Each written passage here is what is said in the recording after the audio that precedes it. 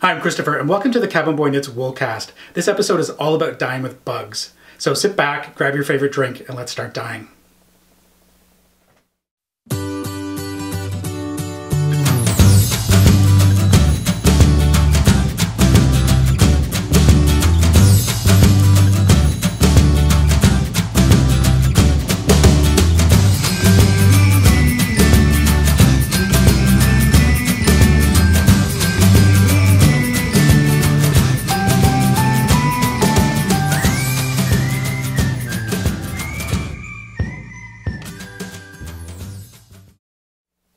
Cochineal is great for dyeing, and it actually has a fantastic history to it as well. We can thank the Maya people going back 2000 BC for dyeing with, with cochineal.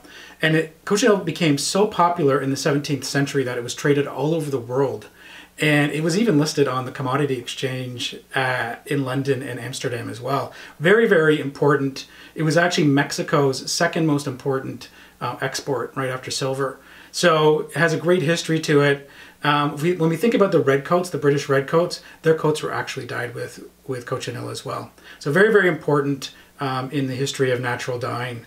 What we're going to do today is I'm going to dye with cochineal. I'm going to talk about what we need in order to dye with cochineal. And the process to make the dye bath is a little bit different as well. So we'll focus on that and, and we'll dye some yarn. So let's go over what it is that we need in order to dye with cochineal. We need the cochineal itself.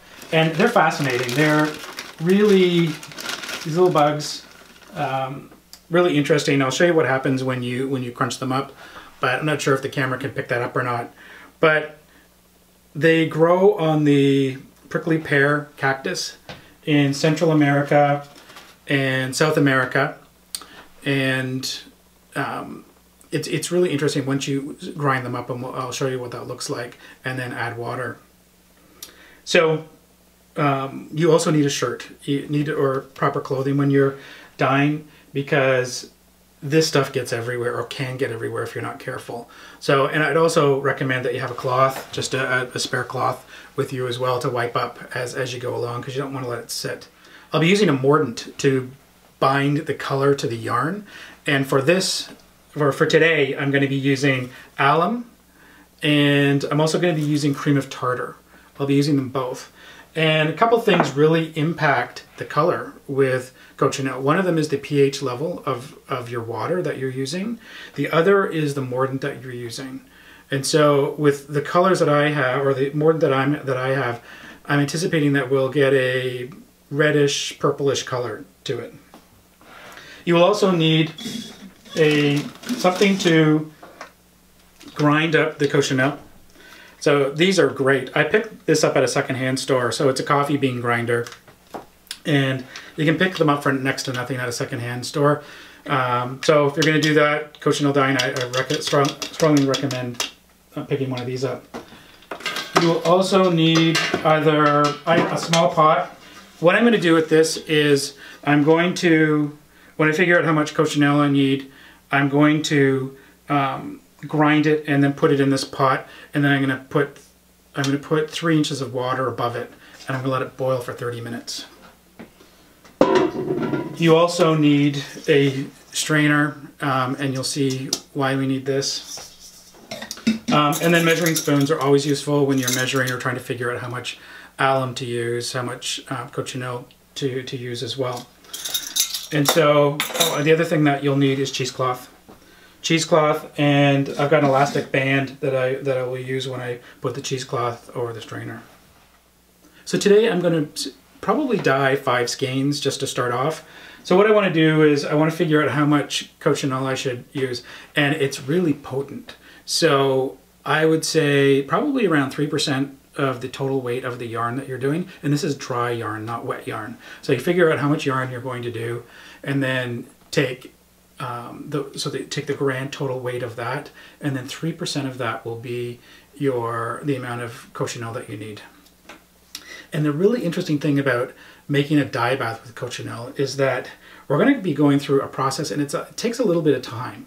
What we want to do is we want to get the cochineal first and figure out how many um, how much cochineal we need. So I figured out that I that I need roughly two tablespoons.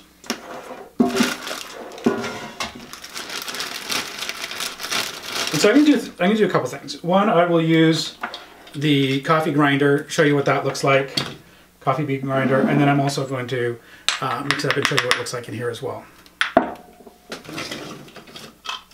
So I'll put one tablespoon in here, I'll put a tablespoon and a half.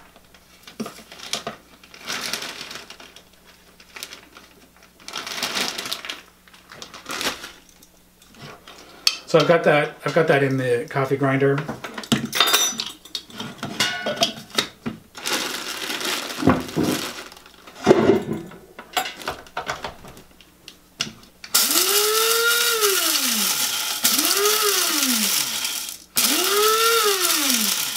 I, I do it probably four or five times until I can't hear any, any of the bugs spinning around anymore. Probably do it two more times.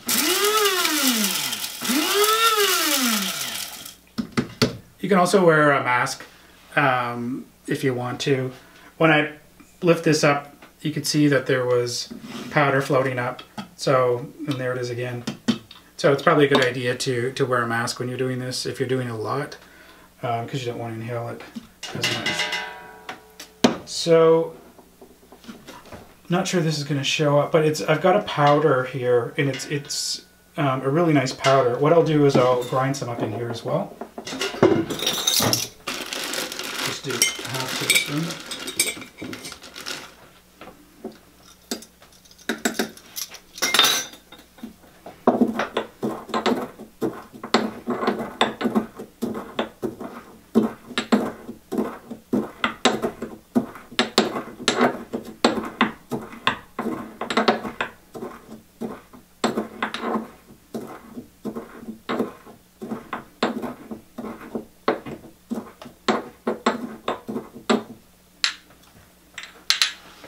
It doesn't look like much other than ground bugs right now. But it's really interesting when you add a little bit of water to it. And instantly you get a red color. This is a gorgeous red color. Uh, that's fantastic. It turns red immediately. So I'm not sure if you can, if the camera can pick that up or not. Also put some on plate so you can see the red color and how it's come out. That color is absolutely beautiful. And I took this out of the, I've got a water softener on my sink. Um, and then I've got one, I can get water, pull water without the water softener. Um, I can tell you when I did this um, without the water softener, the color was a purple. And, and I've got a red coming out of this one. So it was really interesting. Okay, so that's pretty much done. I'm going to put this into my pot, clean it out.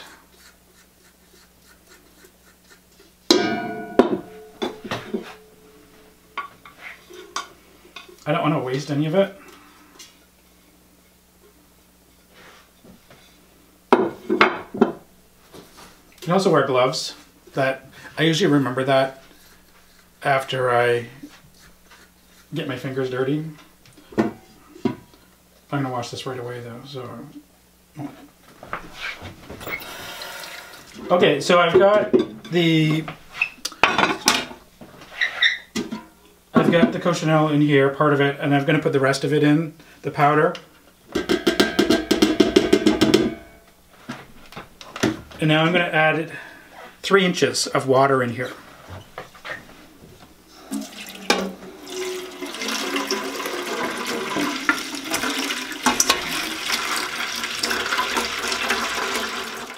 So the, the cochineal is lives on the, the cactus, the prickly pear cactus, and in order to get it off the cactus, it usually resides on the um, pad of, of the cactus, and so it's just swept off, and that's how it's collected. And what I'm doing now is I'm bringing the uh, dye pot to a boil, and I want to let it boil for 30 minutes. And you know, that's one of the differences between dyeing the um, cochineal and using botanicals because some of the botanicals, if you were to boil it, it would turn brown. Uh, because some of them are very sensitive to temperature. But the cochineal, we want to boil that. We want to let it boil for 30 minutes. And what I'm going to do is I'm going to boil it for 30 minutes And then I'm going to get my strainer ready. I'm going to get my strainer ready and I'm going to put cheesecloth on it. Cheesecloth works quite well, um, I find, when I'm straining. So what I want to do is I want to, I don't want any of the pulp to get into my dye bath. And so what I will do is I will put the cheesecloth on the strainer because it's a little, the holes are smaller. Um, and again, I don't want any of the pulp in my dye bath because I don't want it getting on the yarn. If it if it's on the yarn in your dye bath, if you've got pieces of it, chunks of it, what will happen is it will turn that piece of yarn or that's darker than, than the others. And I don't want that to happen. I want it to have it as uniform as possible across. So I get I have this. Um, I take my an elastic and I put that around my strainer. And this strainer I picked up at the at um, a secondhand store as well. Mostly everything I have or I use is, is secondhand.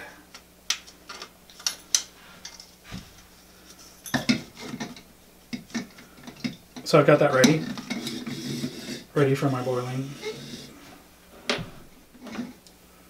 And the process is going to look like this. We're going to boil for 30 minutes and then I will put this over my dye pot and I'll strain it and I want to collect the pulp.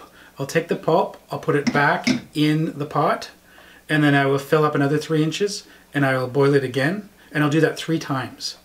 And then I'll have my the dye bath for, for the yarn. So it's a lot different than, in a couple of ways, than um, dyeing with uh, botanicals. Because one of the things is we're boiling it, and when you dye with botanicals, you can destroy the color because a lot of it is a lot of botanicals are heat sensitive. This one, not so much. So we're going to boil it. And we're going to do it three times um, because you can really get a lot out of the cochineal pulp. And so, and we want to save that. And you can also save it after your third time. You can put it on a plate, you can put it on a dish, and just keep it, let it dry. I mean, you can use it again as well. It's it's really potent. So, um, so that's that's why we're going through this process. So, so we've got heat, which is definitely one of the um, pieces or of the process that differentiates it from dyeing with botanicals. But we also have the process of, of boiling and dyeing it down and then gathering the pulp, putting it back in, adding three inches of water, boiling it again, um, putting it through the strainer, collecting the pulp and doing it again. That's, that's much different than dyeing with botanicals. So we'll get through that process and then um, it'll be time to add our mordant.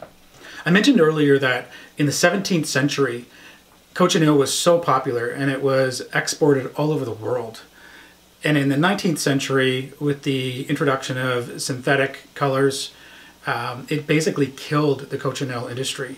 And, um, and so what had happened was um, where we once used cochineal to create colors, it was a lot easier to have synthetic colors generated or, or created, um, lot, lot more um, cost effective as well to, to, to use that. The problem is cochineal was used in foods, it still is used in foods today in cosmetics.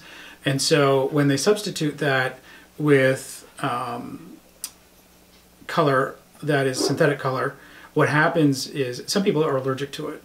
And there's a growing number of people that are allergic to it. And so what's happening now is they're seeing uh, more of an interest uh, to go back to cochineal. And cochineal dyeing definitely wouldn't be something that uh, vegans would be interested in.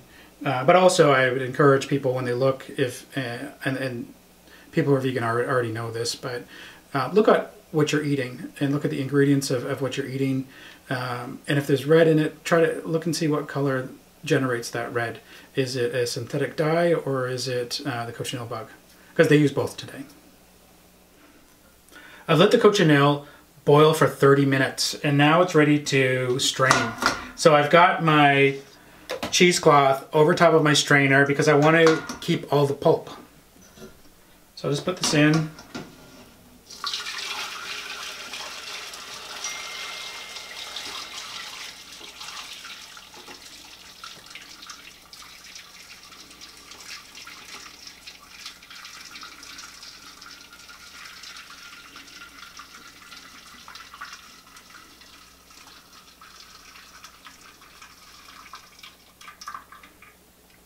And you can see you can see all the pulp that is still in the pot. And there's just a little bit of it on the cheesecloth, but most of it has stayed in here. So what I'm going to do is I'm going to fill this up again, three inches. I'm going to put the pulp that's on my cheesecloth back into black back into my pot, and then I'm going to let it boil for 30 minutes. And I'm going to do that um, one additional time. And so that'll be three times that, it, that it's boiled. And then we'll be ready to add the mordant and start dyeing. So I'm back and we've gone through the process three times now where I've brought the cochineal and three inches of water up to a boil, let it boil for 30 minutes, did that three times, and I've strained it and put it into this dye pot. So this is what I have now. I've got the remains of it. I've got the dye pot. So this contains um, the processing processing of the cochineal three times. And so now I'm ready to put my mordant in. And I've got my alum, which I have pre-measured. And the alum is going to be 10% of the weight of the yarn. And then my cream of tartar is going to be 5% of the total dry yarn. And so now what I'm going to do is I, I like to mix it in a container. So I'll just put some cochineal in here and then I'm going to add my alum to it.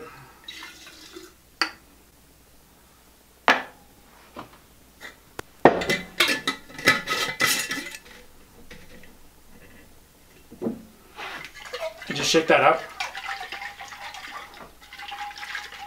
I find it mixes a lot easier if I if I just put it in a mason jar and shake it up and then I'll pour it into my dye pot.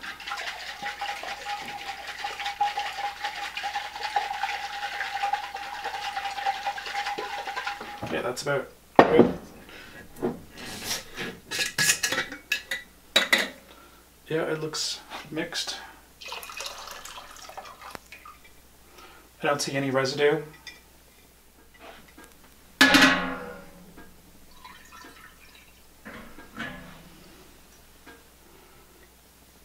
Now I'm going to add the cream of tartar. And I'll shake this up.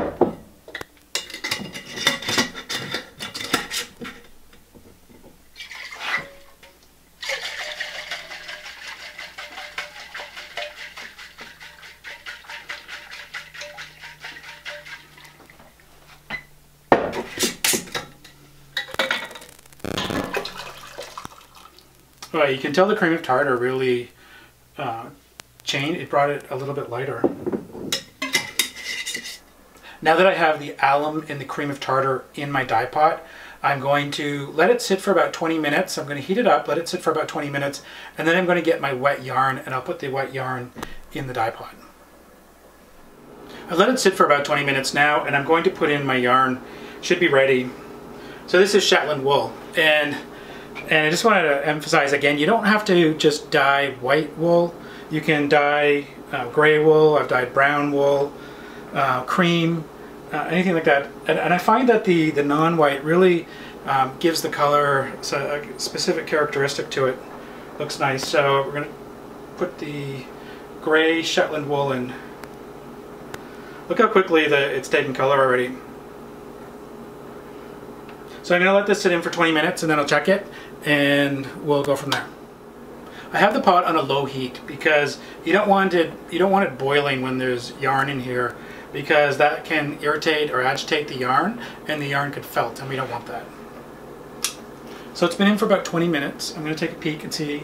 And again, this the, the wonderful thing about cochineal is that it when it has a mordant in it, it really binds to the to the yarn and it it the color is, is, is beautiful and it stays. It's one of the, the best uh, natural dyes to, to keep its color. Wow. Look at that color. That beautiful, beautiful purple.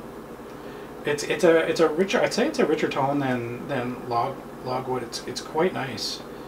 Uh, so what I'm going to do is I'm going to I like to keep as much of this in the dye pot as possible.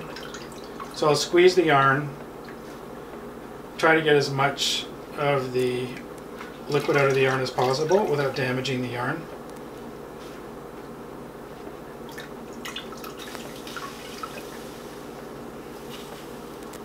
And I look at the, what I also do is just look at the coloring to see if it's it's even. And you have to remember the wet parts are going to appear darker than the than the drier parts of it, um, but it looks it looks very consistent.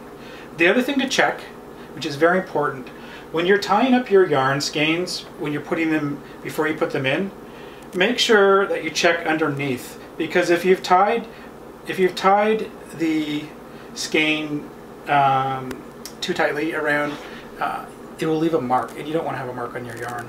So just check underneath the, the sections that were tied to make sure that um, the yarn was exposed to the to the dye. And this looks this looks pretty good. So I'm gonna take that out. So that's it. That's dyeing with with Cochineal. I remember I mentioned earlier that the British redcoats were dyed with Cochineal, and I just pulled out yarn and it's purple. So what is that all about? Uh, well, a couple of things. The pH balance is, you have to look, watch your pH balance because it will have a direct impact on your color. And also the mordant that you use um, will have an impact on your color as well. You notice that when I put in the uh, cream, cream of tartar, it, it, changed the color and made it lighter. Um, so if, if, I put more of that in, it would have even uh, brought out a, a more reddish color. And again, when you take the yarn out and you look at it, uh, it's not necessarily going to be exactly that color after washing. So once you wash your yarn, um, you'll you probably have a close color. And again, cochineal really binds to the to the yarn, so it's going to be very close to the color that I just pulled out. So just to go over the, the steps again, we basically uh, took the cochineal and we had 3% of the weight of the entire yarn. And we measure our yarn when it's dry, not wet and I ground it up in a coffee grinder and then poured it into a, you can pour it into a saucepan or a, another pot and add three inches of water, let it boil, put it into your dye pot um, after you've strained it. Go through that exercise again one more time and, and you can save the pulp after you're finished as well because um, it, it, lasts it lasts for I'd say probably another usage you can get out of it. Um, and so once you do that, you put the, once you've gone through it three, three times, and each time you brought it to a boil, um, you've got your dye pot created, and once your dye pot's created, you put the alum, and you can put cream of tartar in as well. Um, if you like, there are a number of mordants that you can use. Those are the ones that I chose today. Uh, and then you will add your, your yarn once you have mixed it up and let it sit for 20 minutes look at the yarn after 20 minutes. You can leave it in for an hour. You can leave it in for as long as you want. Uh, it all depends on the color. You can also put it in for a second uh, dipping as well. So I'm going to look at this after I wash it, see if I'm happy with it, and, and we'll go from there. So I hope you enjoyed this. If you have any questions, just fire them off to me either through Instagram or on YouTube, and I'm happy to answer them. Take care, everyone, and happy dyeing with bugs.